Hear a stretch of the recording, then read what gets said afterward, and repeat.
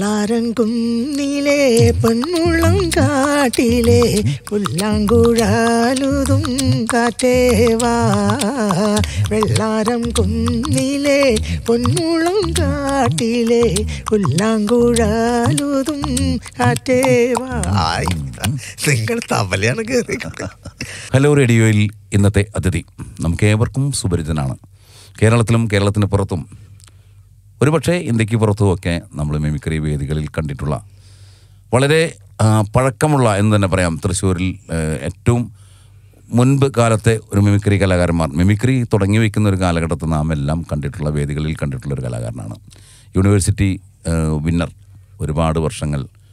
Inter university winner. പല മേഖലകളിലും പ്രവർത്തിച്ച് ഇന്ന് നമ്മോടൊപ്പം ഇപ്പോഴും വേദിയിൽ നിൽക്കുന്ന സലിം കലാഭവനാണ് ഇന്നത്തെ നമ്മുടെ അതിഥി. അദ്ദേഹത്തെ ഹൃദയപൂർവം ഹലോറിഡയിലേക്ക് സ്വാഗതം ചെയ്യുകയാണ്. സലീം നമസ്കാരം. നമസ്കാരം. എന്തൊക്കെയാണ് പുതിയ വിശേഷങ്ങൾ? പുതിയ വിശേഷങ്ങൾ ഇപ്പോഴും പ്രോഗ്രാം ചെയ്യുന്നു എന്നുള്ളത് തന്നെയാണ്. പുതിയതില്ല പോയിക്കൊണ്ടിരിക്കുകയാണ്. അതെ അതെ അതെ. ഏകദേശം ഒരു ഏത് കാലഘട്ടത്തിലായിരിക്കും മിമിക്രിയെ വളരെ ഗൗരവമായിട്ട് എടുക്കുന്നത്. ഒരു ഗൗരവമായിട്ട് എടുക്കല്ല. അതിനെ നമുക്ക് അതൊരു വളരെ ഇഷ്ടപ്പെട്ട ഒരു കലയായിട്ട് മാറുന്ന ഒരു കാലഘട്ടം എന്ന് പറയുന്നത് എഴുപത്തി ആറ് എഴുപത്തി ഏഴ് ആ സമയത്ത്. എഴുപത്തിമൂന്ന് എഴുപത്തിനാലിലൊക്കെ ഞാനന്ന് കുട്ടിക്കാലത്ത് സ്കൂളിൽ ആ പഠിക്കുന്ന കാലത്ത് ഒരു ചേട്ടൻ നാട്ടിലിങ്ങനെ പ്രോഗ്രാം ചെയ്യുന്നു. അപ്പോൾ ഈ മിമിക്രിയാണ് അപ്പോൾ അത് പ്രേക്ഷകർ നന്നായി ആസ്വദിക്കുന്നു ചിരിക്കുന്നു. ഞാൻ ഉൾപ്പെടെയുള്ളവർ നമുക്കൊക്കെ വലിയ ഇഷ്ടം തോന്നുന്നു. അപ്പോൾ മറ്റ് കലാപരിപാടികളുണ്ട് അവിടെ. ലളിതഗാനം മറ്റു പരിപാടികളൊക്കെ നടക്കുന്നുണ്ട്. പക്ഷേ ഇതിങ്ങനെ വേറിട്ട് നിൽക്കുക. ആളുകൾക്ക് ഇഷ്ടപ്പെടുന്ന മറ്റു കലകളിൽ നിന്ന് വ്യത്യസ്തമായിട്ട് അതാണ്. പുതിയൊരു കല എന്നൊക്കെ തോന്നിക്കുന്നത് ആസ്വാദനം അതിനുണ്ട്. പക്ഷെ ആ നിലയ്ക്ക് ചിന്തിച്ചിട്ടല്ല. അപ്പം ഞാനൊരു പ്രേക്ഷകൻ എന്ന നിലയിൽ എനിക്കത് വലിയ ഒരു അത് അങ്ങനെ ചെയ്യാൻ കഴിഞ്ഞെങ്കിൽ എന്നുള്ള പക്ഷെ അപ്പോൾ ആ സമയത്തൊക്കെ എന്ന് വെച്ചാൽ നമ്മുടെ ചുറ്റുപാടുള്ള ശബ്ദങ്ങൾ അങ്ങനെ കേട്ട തന്നെ ഇരിക്കുക കോഴിയായാലും കാക്കയായാലും അതൊക്കെ കേട്ട് അനുകരിക്കുന്ന ഒരു ശീലവും അപ്പം ഇതും കൂടെ ആയപ്പോൾ അവിടെ നിന്ന് അത് ഗൗരവമായിട്ടൊന്നല്ല അതിനെ നമുക്ക് കൂടെ കൊണ്ടുപോയാലോ എന്നൊരു സ്വാംശീകരിക്കുക എന്നൊക്കെ പറഞ്ഞ മാതിരി തന്നെ. നേരത്തെ പറഞ്ഞ പോലെ തന്നെ മിമിക്രി അങ്ങനെ വളരുന്നു. അങ്ങനെ വളർന്നുകൊണ്ടിരിക്കുന്നു അപ്പോൾ ആദ്യകാലങ്ങളിൽ ഇപ്പോൾ സ്കൂൾ കാലഘട്ടത്തിലൊക്കെ നമുക്കൊരു വേദി കിട്ടണം എന്നൊക്കെ പെട്ടെന്ന് തോന്നിയില്ല ആ ഓ. അതാണോ വിൻസെന്റ് ഇങ്ങനെ ഗൗരവമായിട്ട് എടുത്തതെന്ന് അല്ല. അല്ല അത് അത് ശരിയാണ്. നമ്മൾ ആ, ഞാനിപ്പോ അന്ന് ചേട്ടൻ അവതരിപ്പിച്ച ഐറ്റം ഒക്കെ നമ്മളിങ്ങനെ നോക്കുമല്ലോ പ്രാക്ടീസ് ചെയ്ത് നോക്കുമല്ലോ അതുപോലെ ഇപ്പോൾ നാട്ടിലെ ഈ കോഴിയൊക്കെ ആ, ഇത് ഞാൻ വേറൊരു സംഭവം പറയാം. വിൻസെന്റിന്റെ വിൻസെന്റ് ഒക്കെ പിൽക്കാലത്ത് ഞാൻ ആ ചെയ്യുന്ന കേട്ടിട്ടുള്ള ഒരു സംഭവമാണ് ഇങ്ങനെ അതാണ് കുതിര ബൈക്ക്. അത് കേൾക്കുമ്പോൾ ഞാൻ എന്ത് ചെയ്യുന്നു വെച്ചാൽ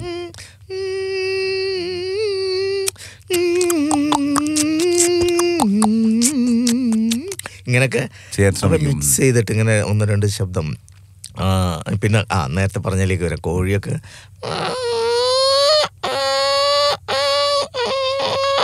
നമ്മുടെ വീട് വീടുകളിലുള്ള കോഴി. മുട്ടയിടുന്നതിന് മുമ്പുള്ള ശബ്ദം മുട്ടയിട്ടതിന് ശേഷം.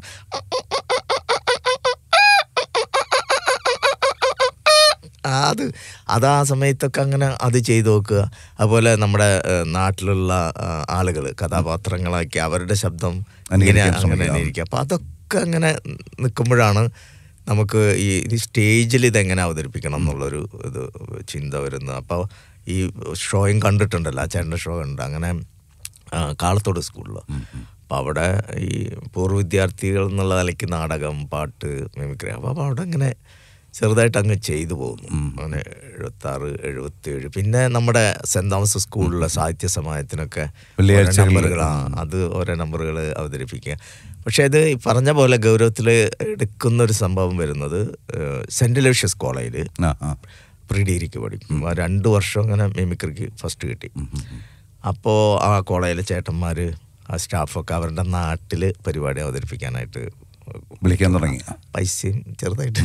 അപ്പോൾ പ്രൊഫഷണൽ ആവുക എന്നൊക്കെ പറഞ്ഞ രീതിയിൽ അപ്പോൾ ഒന്ന് ഗൗരവത്തിലൊക്കെ എടുക്കാം എന്നുള്ള ഒരു ഇതിലേക്ക് വന്നു. എടുത്തില്ലെങ്കിൽ ചിലപ്പോൾ വിവരറിയും അങ്ങനെയാണ്. നമ്മളിപ്പോൾ സ്കൂൾ ഈ കാലഘട്ടത്തിൽ ചെയ്തതൊക്കെ വളരെ തന്മയത്വത്തോടു കൂടി ചെയ്യുമെങ്കിലും ഒരു അടുക്കും ചിട്ടയൊക്കെ ഉണ്ടാക്കിയെടുക്കാനായിട്ടല്ലേ?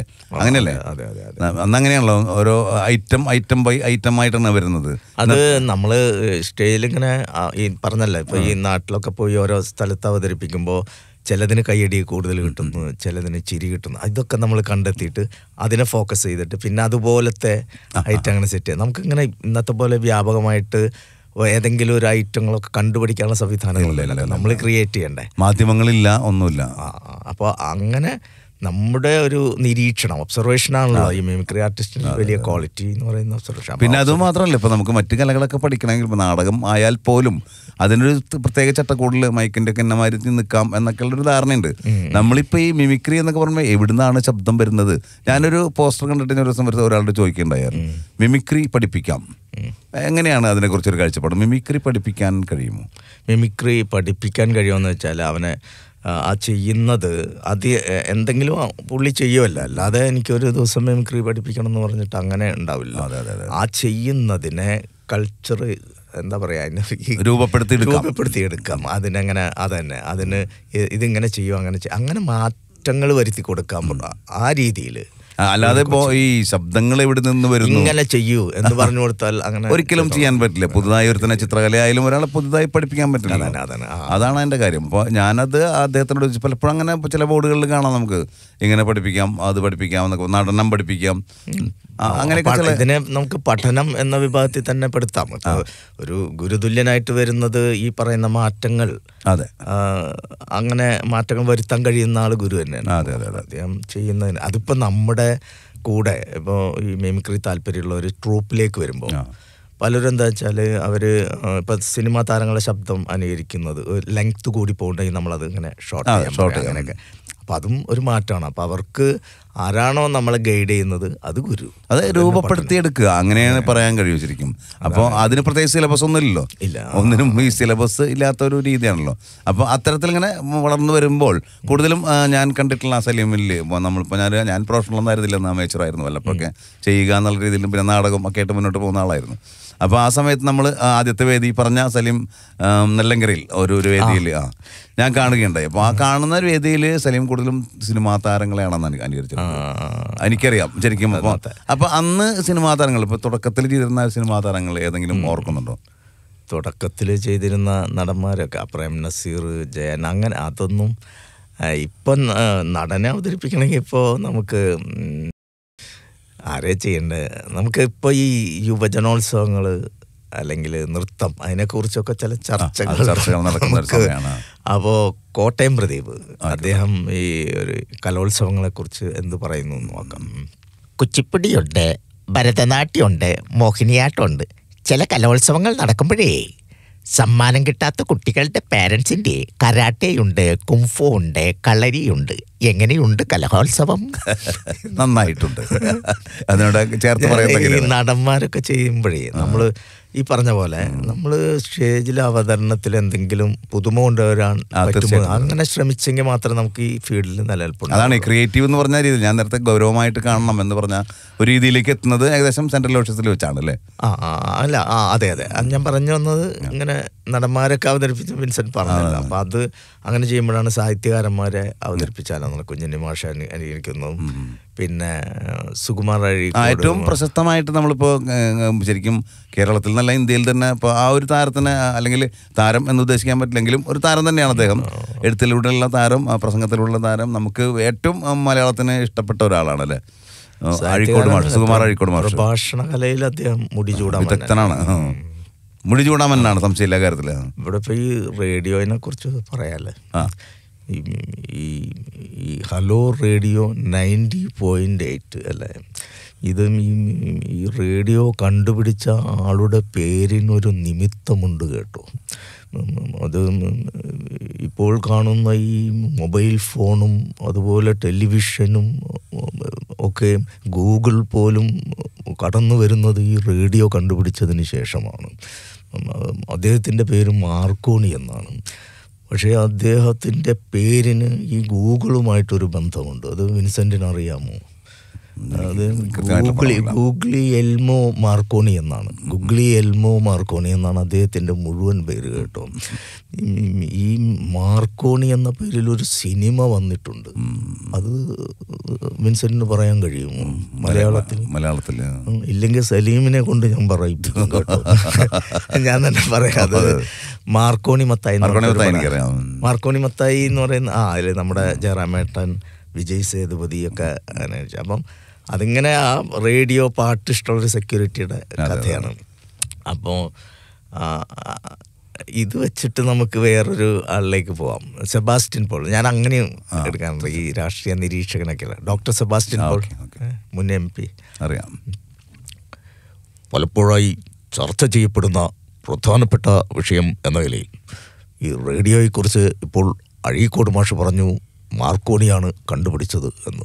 സലീം പറയുന്നു മാർക്കോണി മത്തായി എന്ന സിനിമ ഇറങ്ങിയിട്ടുണ്ടെന്ന്. ഞാൻ എനിക്ക് ചോദിക്കാനുള്ളത് മത്തായി എന്ന പേരിൽ ഉള്ള മറ്റൊരു സിനിമ മിസ്റ്റർ വിൻസെന്റിന് പറയാൻ കഴിയുമോ എന്നാണ്.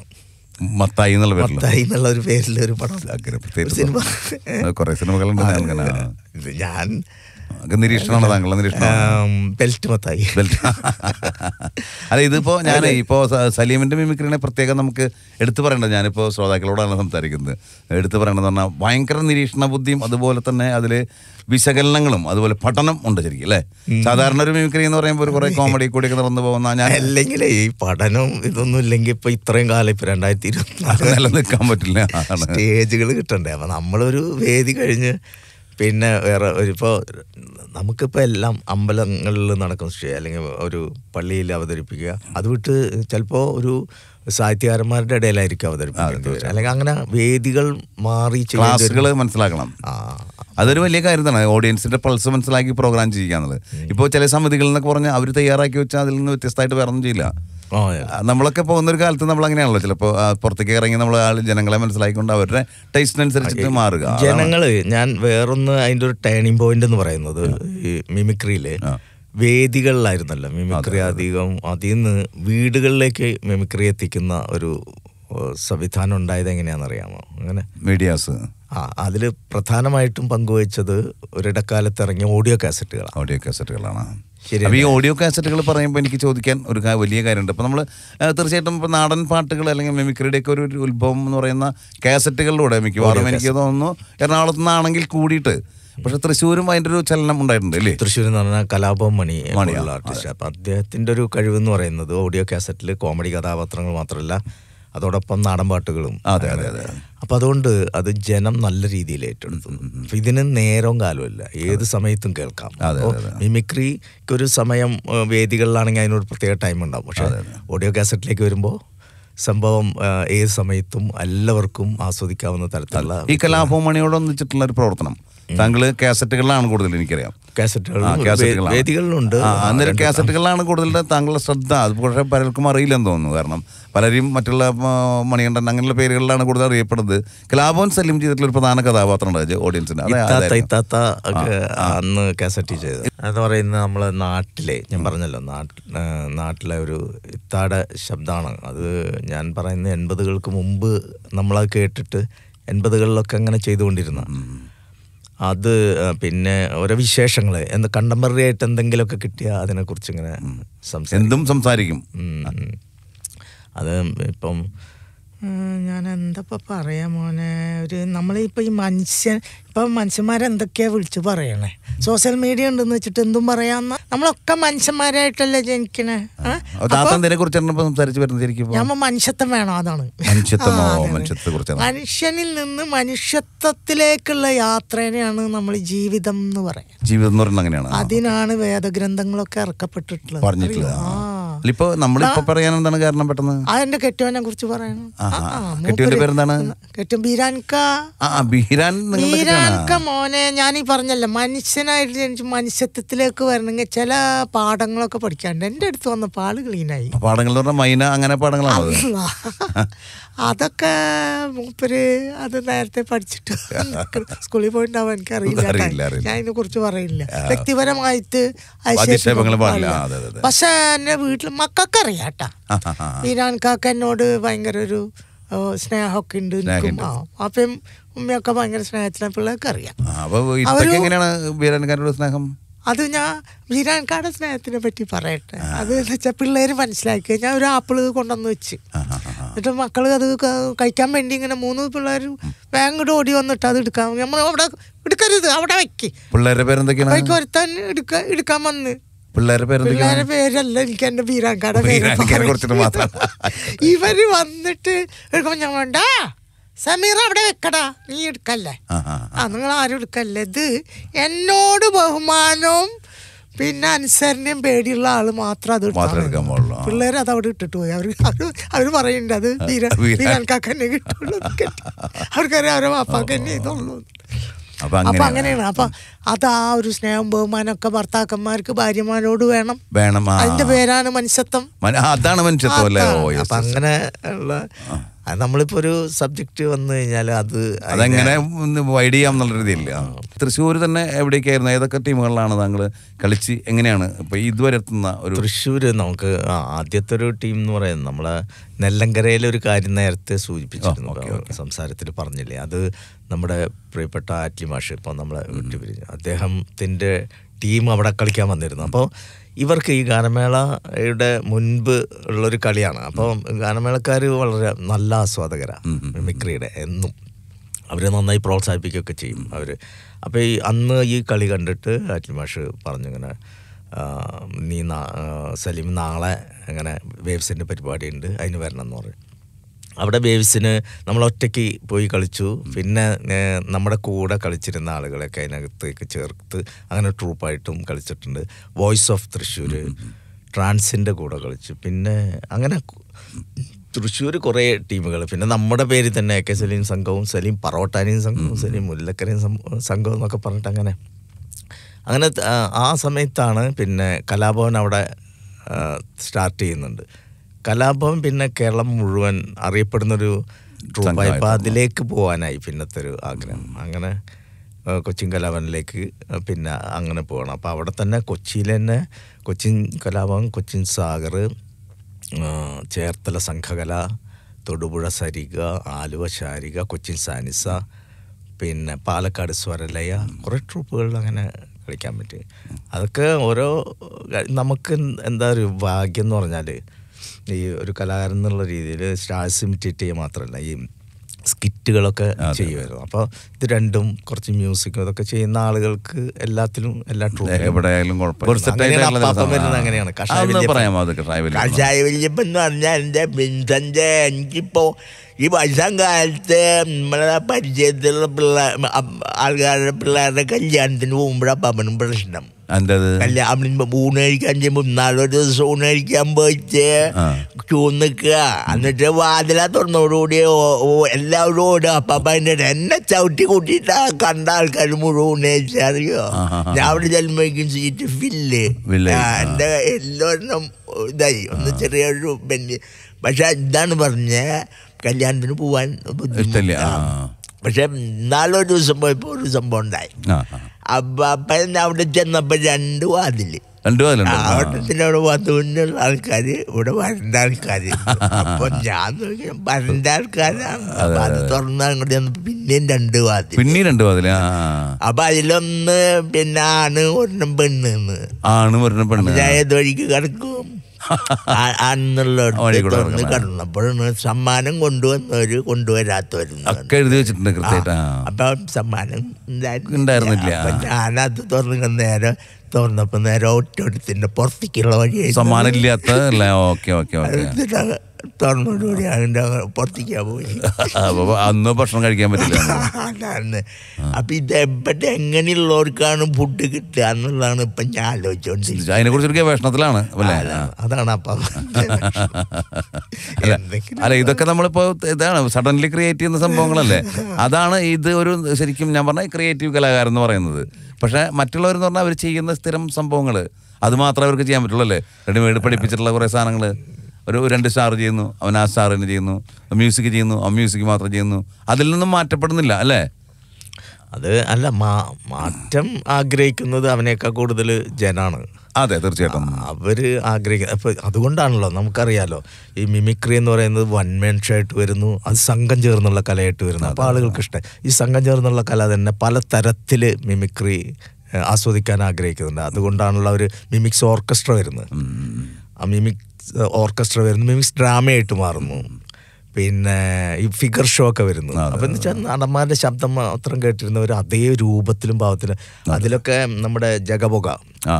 ആളുകൾക്ക് വലിയ ഇഷ്ടമായിട്ടുള്ള അത് കഴിഞ്ഞ് പിന്നെ ഇപ്പോൾ അതെ സ്പോട്ട് ഡബിങ് കാരണം സാങ്കേതികമായിട്ടുള്ള എങ്ങനെ ഉപയോഗിക്കാം. അങ്ങനെ ഉപയോഗിക്കാം എന്നുള്ളതാണ്.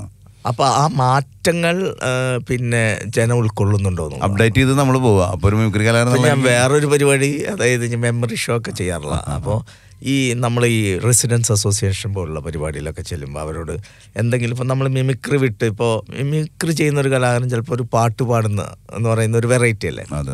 നാടൻ പാട്ട് പാടുന്ന അല്ലെങ്കിൽ ചിത്രം വരയ്ക്കുക സ്റ്റേജിൽ അല്ലെ പാട്ട് പാടി പാടിക്കൊണ്ട് അങ്ങനെയൊക്കെയുള്ള ഒരു എക്സ്ട്രാ ടാലന്റ് അവിടെ വ്യത്യസ്തമായിട്ടുള്ള ഞാൻ കണ്ടെത്തിയത് മെമ്മറി ഷോ കുറേ വാക്കുകൾ പത്ത് മുപ്പത് വാക്കുകൾ പറയിപ്പിക്കുക.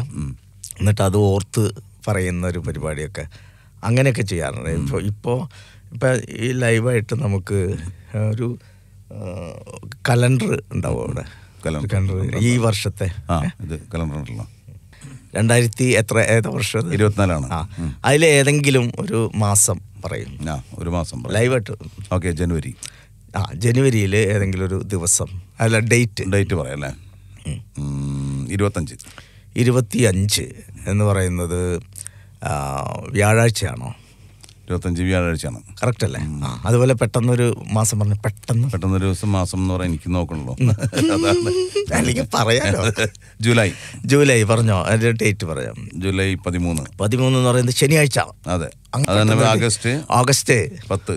പത്ത്. ശനിയാഴ്ച. കറക്റ്റ് അല്ലേ? കറക്റ്റ് ആണെന്ന് പറയണം.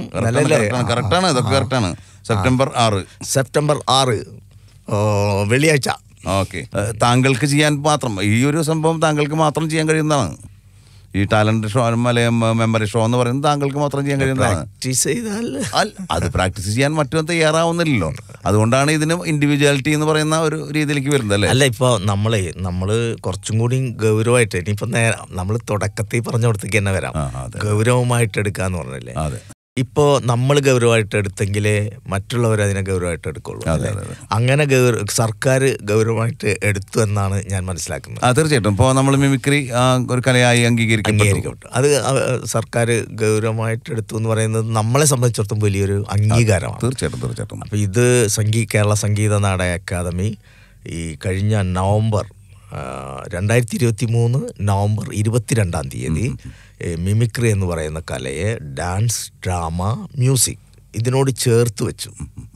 മിമിക്രി കോമ മിമിക്രി എന്നുകൂടെ എഴുതിയ ഒരു ഓർഡർ പുറത്തിറങ്ങി. എന്തായാലും തീർച്ചയായിട്ടും അവരോടൊപ്പം നന്ദി പറയുക അവസരത്തിൽ അതെ അതെ അതെ തീർച്ചയായിട്ടും. സർക്കാരിനോട് നന്ദി നന്ദി പറയാം. പറയേണ്ടതാണ്. കൾച്ചറൽ ഡിപ്പാർട്ട്മെന്റാണ് അത്. ചെയ്തത്. അപ്പോൾ അതൊരു വലിയ കാര്യമാണ് മിമിക്രിക്കാരെ സംബന്ധിച്ചിടത്തോളം. അപ്പോൾ എനിക്ക് ഞാൻ വേറൊരു ഇന്റർവ്യൂവിലും പറയ പറഞ്ഞൊരു കാര്യമാണ്. അതായത് ഈ നവംബർ ഇരുപത്തിമൂന്ന് എന്ന് പറയുന്ന ദിവസം മിമിക്രിക്കാരെ സംബന്ധിച്ചിടത്തോളം വരും വർഷങ്ങളിൽ ഈ മിമിക്രി ഡേ ആയിട്ട് ആചരിച്ചുകൂടെ എന്താണ്? തീർച്ചയായിട്ടും. നല്ല വളരെ സത്യസന്ധമായിട്ടും അല്ലെങ്കിൽ ആവശ്യപ്പെടേണ്ട ഒരു കാര്യം തന്നെയാണ് അത് കാരണം നമ്മളെ സംബന്ധിച്ചോളം ഓർക്കേണ്ട ഒരു ദിവസമാണത്. അതെ അതെ അതെ. കാരണം ഇത് സർക്കാർ തലത്തിൽ നമ്മൾ ഓരോ ഫെസ്റ്റിവലിനൊക്കെ അവതരിപ്പിക്കാറുണ്ടെങ്കിലും കൃത്യമായിട്ടൊരു സംഗീത സാങ്കേതിക നാടാക്കാന്നൊരു ബൈലോയിൽ ഭേദഗതി ഭേദഗതി വരുത്തിക്കൊണ്ട് ഇത് ഇങ്ങനെ എഴുതി ചേർക്കപ്പെടുക എന്ന് പറഞ്ഞു കഴിഞ്ഞാൽ അത് ചരിത്രമാണ്. അല്ലേ അപ്പോൾ അത് ആ ഡേ ആ ഓർഡർ ഡേറ്റ് എന്ന് പറയുന്നത് ഇരുപത്തി രണ്ട് നവംബർ ഇരുപത്തി മൂന്ന്. അപ്പോൾ നവംബർ ഇരുപത്തിരണ്ട് എല്ലാ വർഷങ്ങളിലും മിമിക്രി സംഘടനകൾക്കൊക്കെ തീർച്ചയായിട്ടും ചെയ്യാമല്ലോ അത് നമുക്ക്. ആവശ്യപ്പെടുകയും ചെയ്യാം നമുക്ക് സർക്കാരിനോട് ആവശ്യപ്പെട്ട് തന്നെ കലണ്ടറിലേക്ക് ഈ ഡേറ്റ് കൊണ്ടുവരാമല്ലോ നമുക്ക് വേണമെങ്കിൽ